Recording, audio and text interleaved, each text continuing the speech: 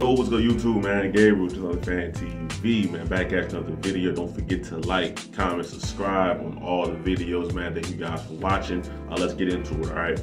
So, um, obviously, there's Raven stuff going on. You know, uh, Odell Beckham tweeting, you know, uh, he's worth more than $4 million. You know, people speculating, oh, was it the Ravens that offered him $4 million? You know, things like that, on and on, right? Uh, there's also Lamar Jackson, right? Uh, on Instagram. It's, it's always a new story with Lamar Jackson, particularly on Instagram, right? But uh, let's talk about the NFLPA versus the owners with Lamar Jackson in the middle. Okay, um, I saw the the clip from Ravens Vault, right? That's been kind of going around or whatever. That uh, it seems like that Lamar Jackson and the Ravens make progress.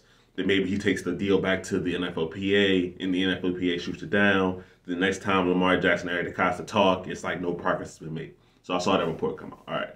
So let's say this, right? Uh, Lamar Jackson's a grown man. He's a smart man. He's a guy who knows what he wants. Okay, so I don't believe that you know he's following exactly what the NFLPA says to 100. percent Okay, I don't believe that. Um, is he getting help with him, advising them? Sure, uh, yeah, that's obvious at this point. Okay, um, but to say that he's just a straight up pawn in their scheme, I don't fully believe that. Now, I will say he is caught in the middle of a negotiation that is bigger than himself. All right. This is about the owners. This is about NFLPA. This is about unions. Okay. I remember when I when I was uh when I was young a couple years ago, right? I I worked at a um, a retail store. Okay, so you know you go go to retail stores. You know you do your orientation, how you do this in the store, right? And one of the views that they showed me for orientation was why I didn't need to be a member of a union. And this is just a retail store. You know what I'm saying? It's a big time retail store. Don't get me wrong, but it's just a retail store. And they're telling me why I don't need to be a member of a union. Union's not really looking out for you. This is all a part of orientation, right? Nothing to do with the store in this part of the video, but just why you don't need to be in a union. All right. So, and that's what NFL owners are. They're members, they're owners of a big time organization, a big time franchise. That's what they are. Okay. 32 franchises, right? Um, so of course they're against guys who are trying to be union leaders, and that's what the NFLPA is. You know, it's a it's a constant battle between them and the owners, flat out. And Lamar Jackson's in the middle of it. All right. Now, if if that is true, right, about the fact that Lamar Jackson and the Ravens made progress, he takes the, the deals back to the NFLPA or whoever he takes it back to, and they shoot it down. The next time Lamar Jackson and the Ravens talk, it's like nothing happened. Um, that is unfortunate. Okay that is not a great look for the NFLPA. It's, it's, it's not, you know. Um, are you trying to get him the best deal he can get, or you trying to get him the only deal that you want him to get, right? Because um, that could be two different agendas right there. It really, really could be. Now, I'm not going to paint the NFLPA as the bad guy because they're trying to hold the owners accountable for giving out contracts they don't have intentions of paying, which to me does not make them a bad guy. Doesn't make them a good guy either. Now, I'm not saying like I said they're not 100% of fault in any of this kind of situation. But let's say I give you a five year deal, 200 plus million dollars. I guarantee the first three years, the other two, it's, it's funny money. There's really nothing out there. You could get it, probably won't, but you could, right? So how many how many of you guys will sign up for a contract for a new job? They say, hey, look, man, you know, we, like you, want to bring you on.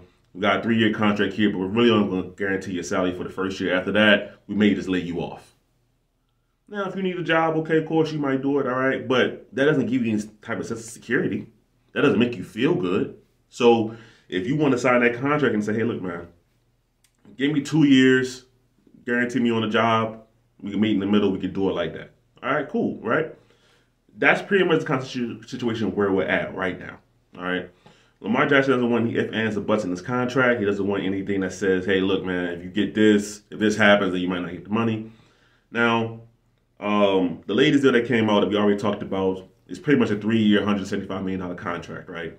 Um, he gets the you know the injury guarantee, so if he's cut next year, he doesn't get the money. But the Ravens have to hit, uh, assume a $70 million dead cap number, which they aren't going to do. But it's a possibility for whatever reason, any myriad of circumstances, that they, it could happen, right? So he turns that deal down. Um, if the NFLPA is advising him anything in his ear um, that's purposely stalling the negotiations without anything being held to move forward, then that's not good business. All right. That's not good business. It's, it's just not. You know, you want Lamar Jackson to get his money. You don't want Lamar Jackson to be a martyr and not get paid. Now, eventually, somebody will pay Lamar Jackson. Um, at this point, it seems like it's going to be the Baltimore Ravens and nobody else, uh, just because um, the offers aren't coming in, right? And we got to be honest about that. The offers are just not coming in. Um, now, the only team that's been rumored to even have interest right now is the Indianapolis Colts, and that's just between reporters saying that hey, it makes sense for the Colts to get involved, not like anything strong and conclusive that they drawn up an offer sheet or anything like that. So this negotiation process that's been between the Ravens, Lamar Jackson, Steve Bisciotti, Eric DeCosta, it stayed that way because nobody else has jumped in the middle of it. Um, now, I will say this, right? As far as the, because really this is a CBA negotiation that's happening with Lamar Jackson um, in the middle in live time, in live action, okay? if you want to tell me that you believe the NFLPA should have handled this back in the last CBA, which I believe was 2020, I think, you're correct. They should have handled it back then, right? But we also got to think about why it wasn't handled because the owners are objectively against it. It takes, like Eric DeCosta's favorite line in contract negotiations that he's been saying pretty much every time he's come to the podium. It takes two to tango. If you look at every pre, every press conference that Eric DeCosta has said uh, since Ray started this Lamar Jackson negotiation, he said it takes two to tango. He keeps saying that, right? Um, that's an obvious, um, it's obvious place saying that you know, hey, look, one side got to talk, other side got to respond. We got to compromise. We got to meet in the middle. All right. Um, now for the last CBA, the owners, their compromise was, you know, practices and days off and things like that, which is fine. It's just cool, right? But ultimately, you play this game, you play this game, you put your body on the line because you want to get paid for it. Okay. Um, if I give you this deal that says this amount of money, I want X amount of dollars on it, right? That's what I want. So, in my opinion, this is not about who's right, who's wrong. This is about two sides clashing trying to get a point across, okay? Um, if this was a regular negotiation, yeah, I believe there'll be plenty of teams after Lamar Jackson. And hey, look, they still may be, right? Because with free agency slowing down, um, the teams have the first week free agency is over, so teams can now kind of sit back, relax, and say, all right, look, if we put a match, if we put if we put an offer sheet out there for Lamar Jackson, we don't have to worry about missing out on the big time free agents because we got to wait five days for the Ravens to match. That very well could be a thought process, and we can see the we can see the offer start rolling in next week, right? It could very well happen, but that's right now. That's not what's happening. All right, owners are kind of sitting back, letting everything play out, and we'll see where we go from there. Okay. Now, um, sorry.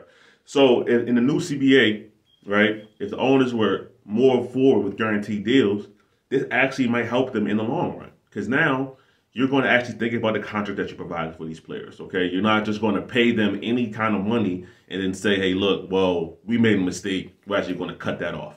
Now you're actually going to have to use the thought process and think and say, "Hey, look, do I think this player in three years will be worth amount will be worth this amount of money? Right? Do I think this player in three years can hold up and get this amount of money in the back end? Right?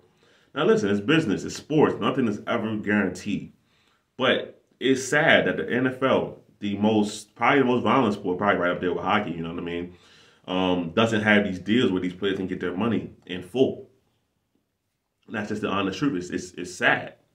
All right. Um, but as far as the NFLPA versus the NFL owners, Lamar Jackson is in the middle of it. All right. Um, there's no other way to put it. Um, and I'm not saying that like Lamar Jackson is like a victim or he's been taken advantage of because, like I said before in the beginning of the video, he knows full well what's going on. Um, I believe Lamar Jackson to be smart. These people who question his intelligence about, oh, does he understand what's going on in the contracts? Okay. Even if he didn't, he has a team of legal advisors that could tell him what's going on, even if you believe he doesn't understand. But I believe he understands completely what's happening. So he's not a pawn. He's not somebody's uh, flunky. He's not somebody's idiot that they're that they're stringing along. He's a he's a grown man who say, "Hey, look, um, yeah, okay, you guys want me to take this stand for this deal? Let's do it. I'll I'll I'll try it. I'll I'll push forward in that progress. Okay, um, and that's what we are right now. At exactly what we are. So uh, yesterday with Lamar Jackson, he came out. Um, he was at a concert or something, and somebody was talking to him, was he coming back to the Ravens. He said for sure, right? And uh, you know he had like his um, Ravens chain on. It's the Ravens shield with like the you know the Broward County and all that stuff on it. Um, it sounded like he said, "Yeah, it's happening," right? Then he goes on IG and said, "Oh no, I couldn't. Hear, it, it was loud in there. I couldn't hear a word that was going on." And then yesterday we get that he's on his YouTube channel. He's gonna be dropping an exclusive interview, right? Maybe he'll cover some of this stuff. Maybe he won't. Um, in the clip that I saw that he put on IG, uh, he talks about his transition to the NFL. Uh, first coming in with the West Coast offense under Marty Mornhinweg and how it wasn't that different from what he ran in Louisville, which is what I've said on here before, is the fact that you don't have to create a magical new offense for Lamar Jackson. In, in, in college, he ran a pro style system. Uh, anyway, he said his biggest transition was the fact that he got, had to go from learning um, signals. In, in, college, it was all signals, no really, no huddles really. Into in the NFL, huddling up, spitting all these long verbiage word plays, you know, Spider X, two Y banana, you know, how the classic Jon Gruden calls and all stuff, things like that, right? Um, so maybe, maybe in this interview, he'll touch on stuff that's going on with the contract negotiation. I don't expect to hear about any numbers or anything like that. Um, like I said, him and Eric Costa had that deal that he wouldn't discuss it.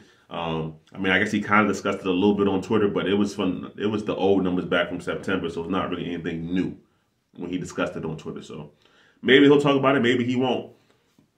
But Lamar Jackson is dropping a, an exclusive interview on his YouTube channel. You guys can check it out. Uh, I don't know exactly what time it's coming out today, but we shall see. But uh, this process is a long, drawn out process because um, it's two sides that want something that's two totally different things. All right.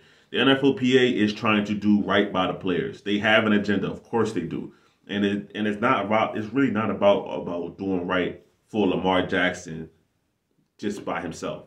It's about the NFL players as a whole. So these contract negotiations may be hurting Lamar Jackson, but they're trying to do it for the greater good of NFL players as a whole. That's that's, that's simply what it is. All right. And you could say how their tactics are going about it is wrong. Uh, and, you know, I won't disagree with you on that. Uh, but at the end of the day, NFL owners, if you're going to sign these contracts, sign this number on a dollar line, intend to pay what you owe. And that's it, man. That's all I got to say about it. But uh, I'm going to get out of here, man. Um, this week, uh, I'm going to be in Florida. Um, you know, going to see Lamar Jackson. I'm going to Orlando. Um, some family time, things like that. So uh, I'll probably still try to do some videos while I'm down there, but that, if, nothing comes out, that's fine. All right, cool, man. Y'all have a great day, a wonderful weekend. I'm gonna get out of here, man. It's Gabriel, just with Fan TV. About